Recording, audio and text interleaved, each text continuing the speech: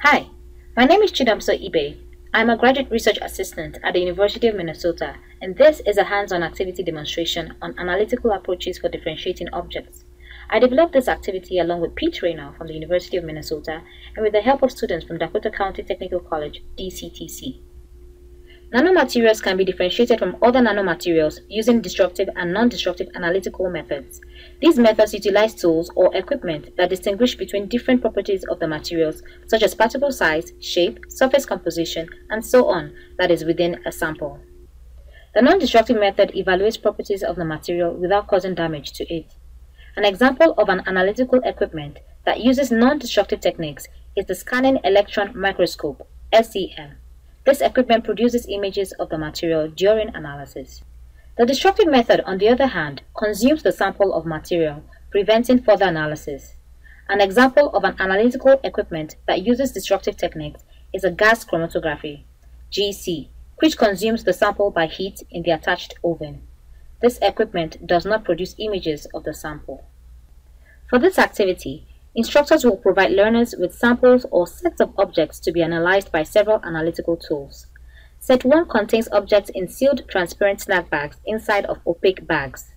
Set 2 contains objects within a snack bag and set 3 contains objects in large grocery type bags. The analytical tools to be used for this activity are dimensional and surface compositional tools. The dimensional tools include rulers, calipers, and a tape measure. The surface compositional tools include a UV flashlight or lamp. Learners are encouraged to work in groups of two to three people. Begin with a non-destructive test without imaging. Each group will receive one or more opaque bags containing set 1 objects. The opaque bags indicate that images are not generated during this analysis. Using only your sense of touch and the dimensional analysis tools at your disposal, Characterize the properties of set 1 objects in the opaque bag.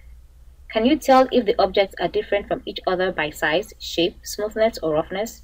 Write down your observations. Conduct another non-destructive test, this time with imaging. To do so, open the opaque bags and remove the sealed snack bag. At this time, we can see that the objects are jelly bean candies. Without removing the objects from the sealed snack bag, Characterize the properties of certain objects in additional ways you were not able to do before.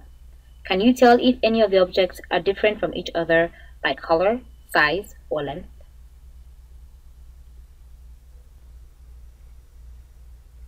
Continue analyzing set 1 objects, this time with destructive analytical methods.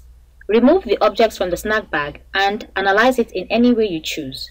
Remember that destructive tests cause damage to the sample so you may squeeze or puncture the objects by hand to verify your observations about the differences among the objects. Move on to set 2 objects to conduct a destructive test as well. Remove the sealed transparent snack bag from the opaque bag. Although the contents of each snack bag are similar, there are two types of objects present. Now, Remove the objects from the snack bags and differentiate the objects by destructive methods.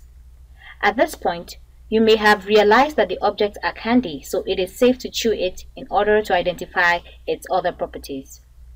The candy used is BeanBoozled Jelly Beans, which has two flavors of the same color, one flavor being tasty and the other not so tasty.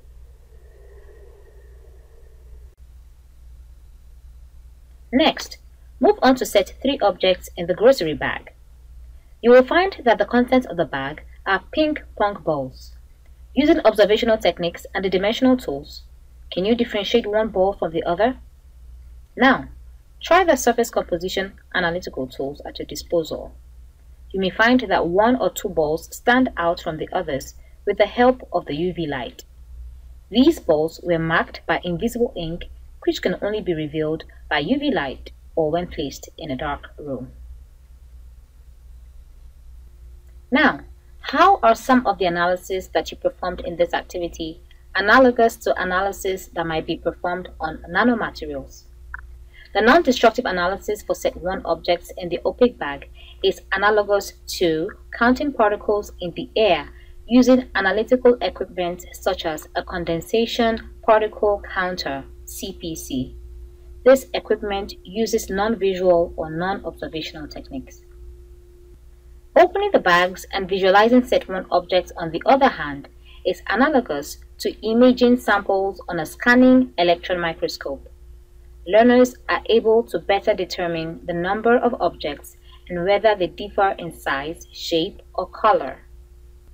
The destructive analysis on set 1 and set 2 objects are analogous to performing a chemical analysis that consumes a sample. Learners may be able to confirm the color, texture, or flavor of the objects. This analysis is especially useful to distinguish between similar materials such as that seen in set 2 objects. The analysis of set 3 objects is analogous to using an energy dispersive X-ray spectroscopy attached to a scanning electron microscope to differentiate objects. The X-ray spectroscopy, which in the case of this activity is the UV light, is an additional tool that was needed to differentiate the ping pong balls with invisible ink from the rest of the balls in the sample. This concludes the activity on differentiating objects using analytical approaches. Thank you. This lesson has been created by the Midwest Emerging Technologies Public Health and Safety Training Program, also known as METPHAST, which is a collaboration between the University of Minnesota School of Public Health, the University of Iowa College of Public Health, and Dakota County Technical College. The content of this lesson is solely the responsibility of the developers and does not necessarily represent the official views of the National Institutes of Health.